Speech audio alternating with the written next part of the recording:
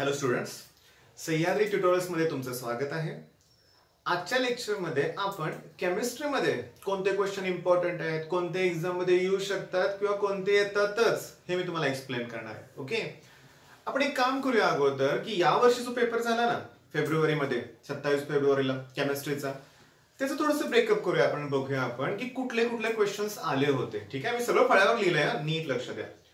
की सुरुवातीला जो मी सेक्शन घेतलाय ना त्यात सगळ्या डेफिनेशन्स आहेत. बघा किती डेफिनेशन आलेत परीक्षेत. व्हॉट आर इथर्स ठीक आहे इथरची डेफिनेशनच लिहायचे आहे आणि त्याचं क्लासिफिकेशन दोन मार्काचा क्वेश्चन आहे. व्हॉट आर अँटासिड्स आता जो शेवटचा टॉपिक आहे ना केमिस्ट्री इन एव्हरीडे लाईफ त्यात डेफिनेशन्स आहेत आणि प्रत्येक पेपरमध्ये एक डेफिनेशन येऊ शकते. मग कुठल्या डेफिनेशन्स आहेत? अँटासिड आहे.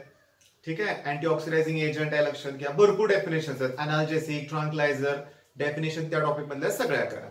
त्याच्यानंतर what is effective atomic number आणि त्याच्यावरती एक न्यूमेरिकल पण आला होता लक्षात घ्या. What is effective atomic number coordination कंपाऊंडमध्ये. Define electrochemical series आणि त्याच्या ऍप्लिकेशन पण विचारलेत लक्षात घ्या. दोन मार्काला. म्हणजे हे सगळे सुरुवातीचे क्वेश्चन हा सोडला तर दोन दोन मार्काचे. ओके आता इलेक्ट्रोकेमिकल सेरीज तुम्हाला माहिती आहे. इलेक्ट्रोकेमिस्ट्री मध्ये. त्याच्यानंतर आयसोटोनिक सोल्युशन हायपरटोनिक सोल्युशन आणि hypotonic solution solution and colligative properties कोणताही पेपर काढून बघायचा त्यातली एक डेफिनेशन असतेच. मग या टॉपिकमध्ये अजून कोणत्या डेफिनेशन आहेत? Osmosis okay semi permeable membrane खूप डेफिनेशन मोलॅरिटी मोलॅलिटी या डेफिनेशन आहेतच. आणि डेफिनेशन जरा ट्रिक न करायला लक्षात घ्या. हा शब्दाचा काय बघा? काय लिहिलं इथं? आयसो आयसोचा अर्थ असतो सेम मास्टर डेफिनेशन तुम्ही आठवा बघू. Isothermal process isochoric process isobaric process आणि आयसोटोनिक सोल्युशन मग ह्या डेफिनेशनमध्ये काय लक्षात घ्या की two or more solution having same osmotic pressure मग आयसोचा अर्थ सेम आहे कळाला ना? मग तीन चार डेफिनेशन त्यानुसार लक्षात राहतील तुमच्या. त्याच्यानंतर बघा आता डिफाईन अॅनिसोट्रॉपी पहिला टॉपिक सॉलिड स्टेट मग त्यात आहेत ना definition crystalline solid amorphous solid anisotropy सगळ्या डेफिनेशन परफेक्ट करा. डिफाईन इनॅन्शिओमर्स ओके आता हे जे इनॅन्शिओमर्स आहे ना हे सेक्शन टू मध्ये आहे. ऑप्टिकल ऍक्टिव्हिटी डेफिनेशनसाठी इम्पॉर्टंट पॉईंट आहे ऑप्टिकल ऍक्टिव्हिटी म्हणजे कुठल्या डेफिनेशन आहेत? असिमेट्रिक कार्बन ऍटम इनॅन्शोमर्स आहेत लक्षात घ्या. Dextro laevo rotatory racemic mixture optical activity मधल्या सगळ्या डेफिनेशन करा लक्षात घ्या.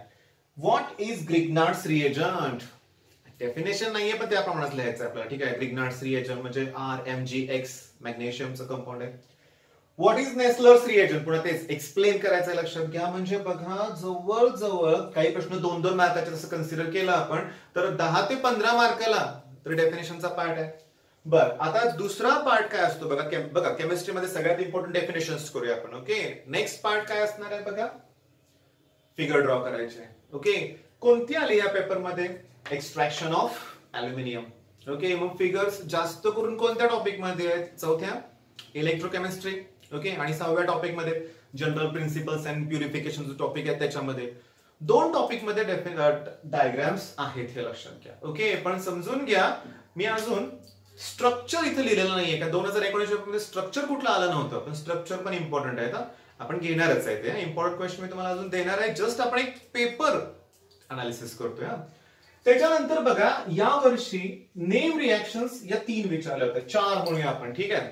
पाच. पाच आहेत इथे काय Gattermann Koch formylation Rosenmund reduction Fischer esterification ही जी रिॲक्शन आहे ना फिशर इस्टरिफिकेशन फिशर इस्टरिफिकेशन याच्यावरती मी एक सेपरेट व्हिडिओ तयार केलाय. वरती आय बटनवर क्लिक करा.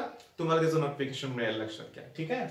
त्याच्यानंतर Hell Volhard Zelinsky reaction Hofmann's elimination reaction एक्झाममध्ये या वर्षी लकीली असेच प्रश्न आले होते पण नेहमी असतील असं नाहीये लक्षात घ्या.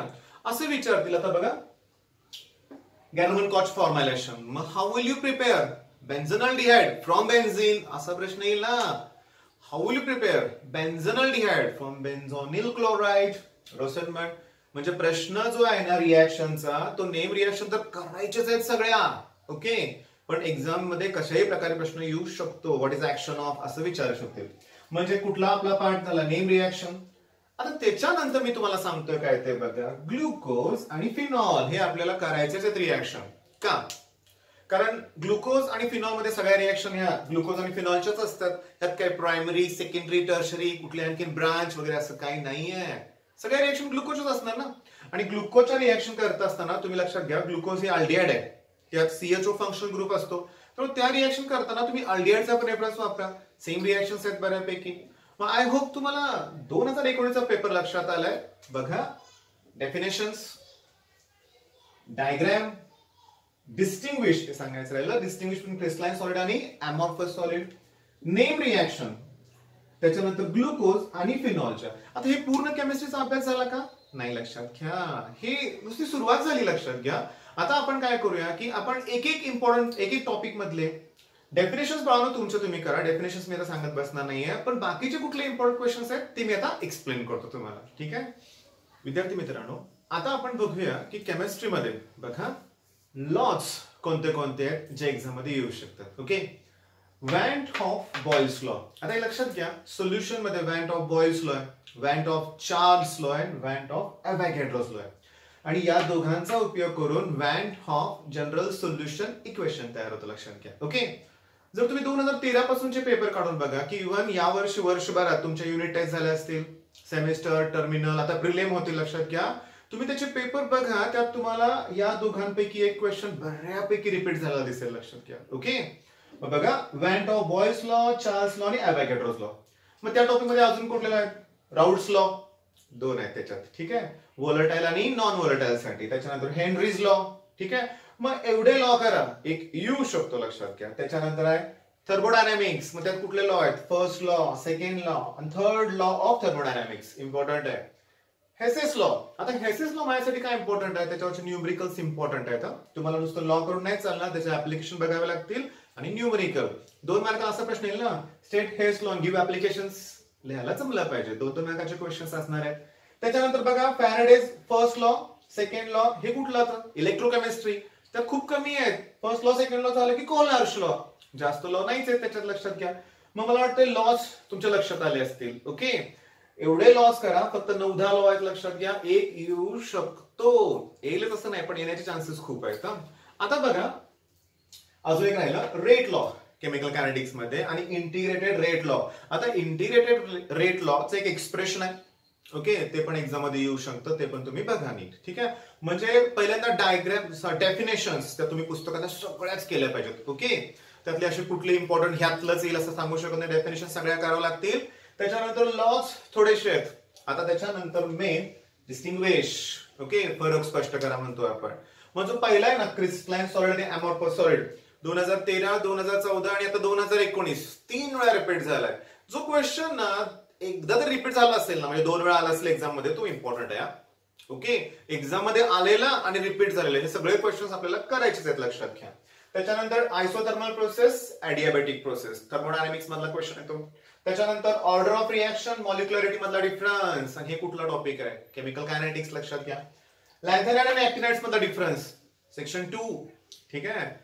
त्याच्यानंतर इथे लिहिले मी इलेक्ट्रोकेमिस्ट्री आता इलेक्ट्रोकेमिस्ट्री टॉपिकमध्ये दोन डिस्टिंग्विश पुस्तकातच दिलेत ते electrolytic cell galvanic cell electrolytic conductor electronic conductor हे एक्झाममध्ये कधी आले नाहीत आतापर्यंत पण करून ठेवा हे लक्षात घ्या ओके आता इथंपर्यंतचे डिस्टिंग्विशचे चार पाच प्रश्न मी तुम्हाला जे दिले आहेत ना ते आपण कसं सॉल्व्ह करतो? सेक्शन वन सेक्शन बी आणि आपण दोन्ही बाजूला त्याचा डिस्टिंग्विशचे पॉईंट लिहितो ओके पण केमिस्ट्रीमध्ये असा जर प्रश्न आला तर बघा distinguish between primary secondary and tertiary alcohol primary second tertiary amine ठीक आहे? त्याच्यानंतर primary secondary tertiary nitro alkane तर हे डिस्टिंग्विश करत असताना तुम्हाला रिॲक्शन लिहाव्या लागतात लक्षात घ्या. मी एक एक्सप्लेन करतो बघा.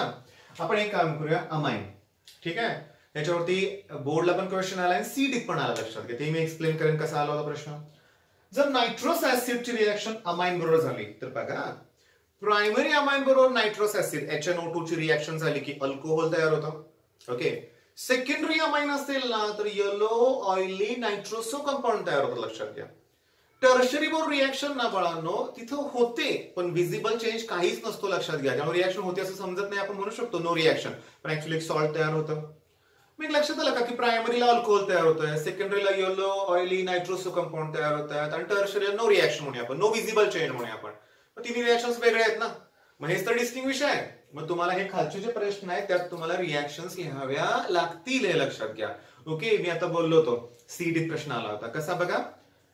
Which of the following amine which of the following amine gives yellow oily nitroso compound when react with nitrous acid मग आपण आता बघितलं की साहजिक आहे ते सेकंडरी अमाइन असणार आहे. मग तुम्ही चार ऑप्शनमध्ये सेकंडरी अमाइन कुठे आहे हे उडकायला पाहिजे लक्षात घ्या. तो तुमचा ऑप्शन करेक्ट आहे. म्हणजे समजून घ्या मी तुम्हाला ना जेव्हा वरती आय बटन क्लिक करून तुम्हाला एक व्हिडिओ मिळेल त्यात मी सीईटी बद्दल सगळं सांगितलं लक्षात घ्या. त्या व्हिडिओत मी क्लिअरली सांगितलंय की केमिस्ट्रीचा अभ्यास करत असताना लॉस करताय तुम्ही डेफिनेशन करताय डिस्टिंग्विश करताय म्हणजे तुमची एमसीक्यूचीच प्रिपरेशन होते लक्षात घ्या. सीईटी साठी खूप इझी क्वेश्चन्स असतात लक्षात घ्या. तुमचं नॉलेज परफेक्ट असेल तर पटकन तुम्हाला आन्सर मिळू शकतो. ठीक आहे?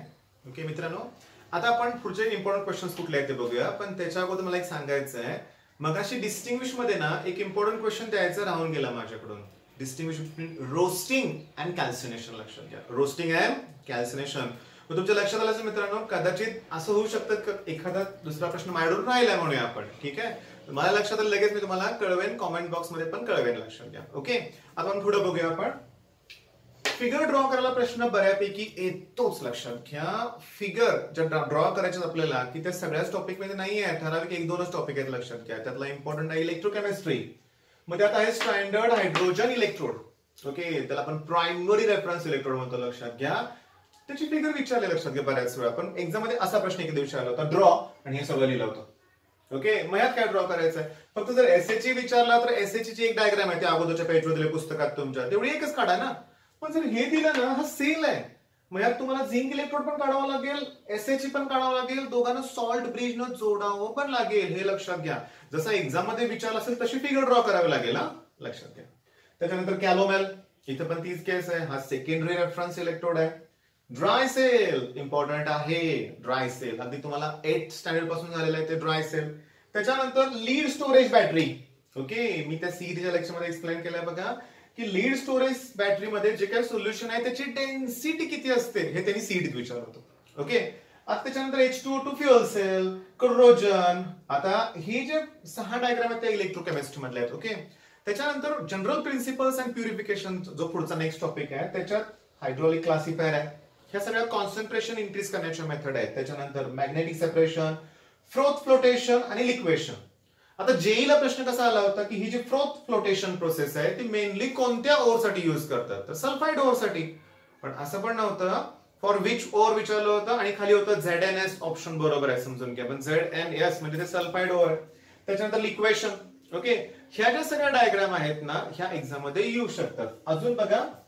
Vertical retort process extraction of aluminium आताच दोन हजार एकोणीसच्या पेपरमध्ये हा प्रश्न विचारलाय. त्याच्यानंतर बेस्मर कन्व्हर्टर ओके मग मित्रांनो आजच्या लेक्चरमध्ये मी तुम्हाला काय सांगितलं बघा? लॉज इम्पॉर्टंट त्याच्यानंतर डायग्राम कुठले आहेत? डिस्टिंग्विश कुठले आहेत? हे मी तुम्हाला एक्सप्लेन केलं. डेफिनेशन मित्रांनो आठवा मी तुम्हाला काय सांगितलंय की डेफिनेशन ही इम्पॉर्टंट आहे. हा येऊ शकणारच नाहीये असं काही नाहीये. डेफिनेशन खूप येत आहेत. सेक्शन टू मध्ये कसं करा माहितीये का?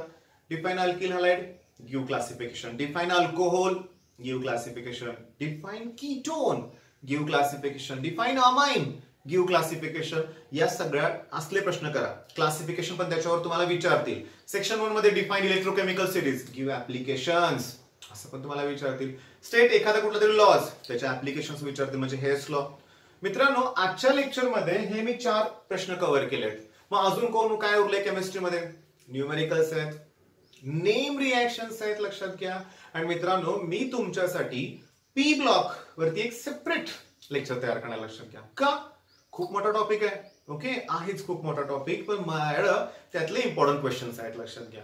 बरं हे इम्पॉर्टंट क्वेश्चन्स ना बाळांनो मी कसे तयार केले तुम्हाला मी सांगतो.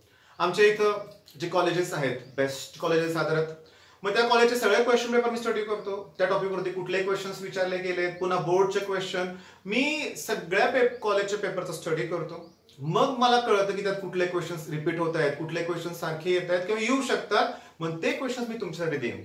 म्हणजे पी ब्लॉकची भीती एक दूर होईल.